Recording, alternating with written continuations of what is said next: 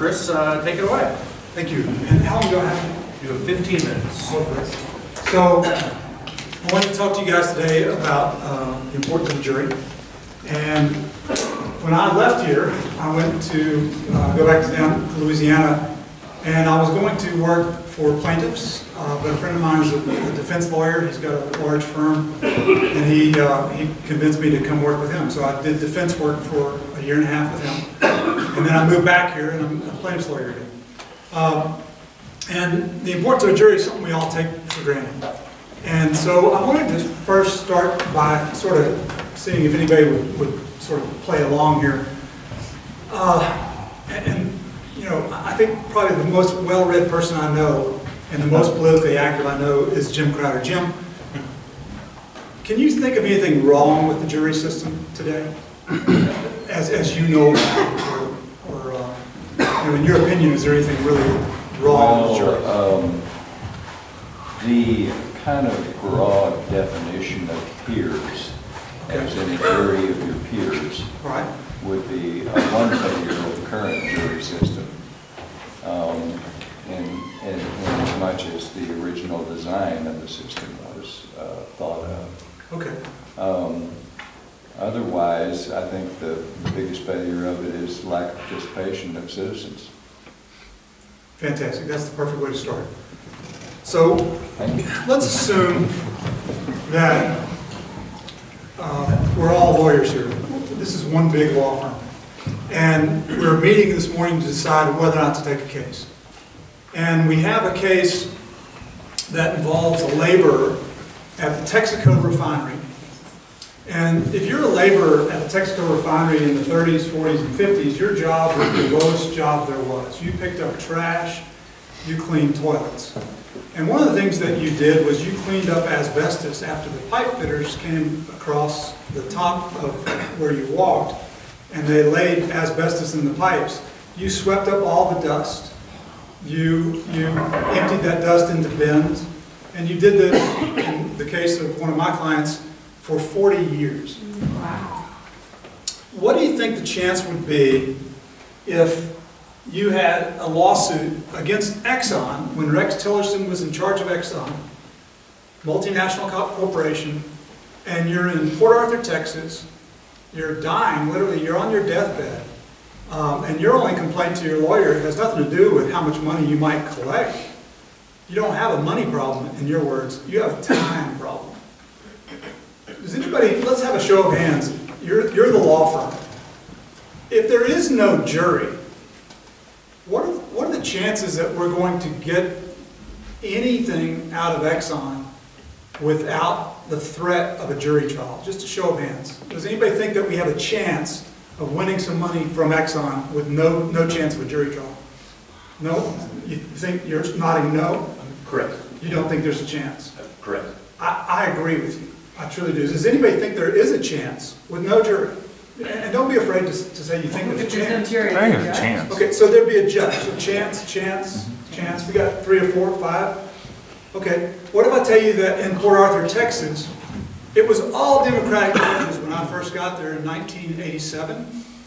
And by the time I left there in 2008, they were all Republican judges. Hmm. Does that change anybody's mind on the chance that you would have had when I first got there, all Democratic judges, when I left, all Republican judges? Anybody think that makes a difference on whether I was elected? How many hands? So most, most of the people here, okay? You know, juries actually change too over time, but they change slower. And in Tex- Texas, we had run a 12-person jury, either in federal or state court. So at least you had 12 different people, and you had a panel larger than this that would come into the room, and you got to ask everybody. You got to find out more about Darren and more about Brent. You could go through and talk to people about their prejudices and their thoughts, and do it in panel 12. Both sides got to do that. I, I think that was very important, okay? Let me give you another example real quick. Um, I'm not watching the time, but I'm going to abbreviate this. Uh, Home Depot, there were uh, workers in a Home Depot, and they were stocking at about 7 o'clock at night, and they had closed the shelf, I mean the aisle where they were stocking. They were using a forklift, and they were loading things at the very top of the, of the shelf. In Home Depot, it- has everyone been in Home Depot? You know, the shelves go on as high as a warehouse used to. And there used to be a sign at Sears, if you wanted to go into the warehouse area or into the area where the mechanics work, that no uh, customers were allowed back there.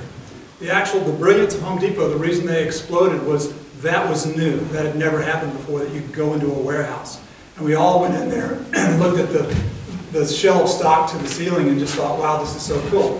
What we didn't know was the reason that Sears insisted that no one ever go into the warehouse or into the automotive area was there's a danger of falling objects. So we have a new client, again, we're a law firm, and we have a new client, and he, and he comes to us, and he says, I was shopping at Home Depot, how long do I have to? Uh, hold on a sec, about 10 minutes. Ten minutes, okay. Uh, we have a new client, this, this law firm, I'm suggesting that we take him on. Uh, he was in Home Depot, and on the opposite shelf, I mean, on the opposite aisle that had been closed, they were stocking, and there is no divider in the uh, shelves at Home Depot between aisles. And the reason there's no divider is Bernie Marcus made that decision himself. He's one of the heads of Home Depot, one of the two founders. He didn't want a divider. He wanted to be able to stock as much as he needed for either aisle. There's still no divider in the top shelf of a Home Depot. Um, So, as they're restocking, they push a 68-pound drill press, and it falls from the very top shelf, almost, uh, I think it was 13 and a half feet, and it hits the six-foot man on the top of his head. Okay? Does everybody think we should take that case if we can't get a jury? If you cannot. We cannot get a jury, it's going to be a judge trial. We- Is everybody still okay with taking the case? Take the case, yeah. How about if I tell you that this man is an astronaut? And this has knocked him out of the space program. Everybody still want to take the case? Oh, yeah. Sounds good, doesn't it? Yeah. Okay, what if I tell you that the judge that's going to try the cases in Galveston, and I'm clairvoyant, and I can tell you that within one year, he's going to be one of the few federal judges ever impeached for being so biased that the Fifth Circuit Court of Appeal takes his judgeship away from him, takes all of his cases away from him, and, and he is literally impeached and he's in prison today. Does anybody think we should still take this case? Still, No. still still think it's good, right? Yeah. Even though we're gonna go in front of this biased judge, okay? And what if I tell you, we take the case and we're just, we're just kicking ass and taking names to, to use the, the current expression. Everything's going wonderful until the Home Depot lawyer figures out that if he hires local counsel, the judge's best friend, it'll switch everything. And he does that. And this morning, I just got back from a hearing, and the judge has done a 360. And he's insisting that we go mediate the case, and he's telling us that we're not even going to get a trial. And he is, is, is demanded that I turn over all of the second set of books that Home Depot uh, keeps on all of the falls that they, they know about, that have happened in their stores. They literally have two sets of books on this. Uh, Does anybody think maybe we should start thinking about settling this case? Yeah. That's what happened. The judge was that prejudiced. Uh, I was lucky enough to, to have a good friend whose uh, father's on the Fifth Circuit, and to be able to talk to three Fifth Circuit judges about what happened to me, and as were a bunch of other lawyers in Houston, because in every case there are two sides, and in every case there's usually two sides that are well represented, and they too have contacts with other people. So this judge was eliminated because of his bias, and he literally is in prison. Uh, Not, not because of bias, he's in prison for for assaulting his, his. Does it get re, does it get retried now? The, the case was actually resolved because we, we had a trial and we had no other choice, but the money was so high that the client wanted to take it. The, um, uh, Five more minutes then? Five more minutes. Okay. I'm gonna just do one more. Y'all wanna hear about DuPont or Texaco? Texaco. Texaco, okay. So, uh, there's a man named Mr. Womack, and uh, his nickname was Nubby, and uh, I don't know why, but uh, he was actually a pipe fitter, and he was a pipe fitter at Texaco. And he was the man that actually put the asbestos on the pipes, he was not the guy that had to clean up the trash. But the pipe fitters ate by themselves because they were better than the laborers and, and they were, they were just a different group. And I'll be honest with you, most of the pipe fitters in the forties and fifties were white and most of the laborers were black. And it was a tough place to work, uh, if you were a laborer. But it wasn't so hot if you were a pipe fitter either. You spent all day putting up asbestos. One of the asbestos uh, products that they used was a magnesia sort of blend. And that was what they covered the outside of the pipe with. And Nubby uh, had his left lung removed on Easter Day, um, about uh, probably 2007, 2008. Um, And only six months later, he's given his deposition. He was 91 years old uh, with no left lung. He had mesothelioma, which is directly related to asbestos. Um, And uh, poor Nubby is, is, is there in this room, and and there's probably this many people, each representing a separate company that we were suing for asbestos exposure.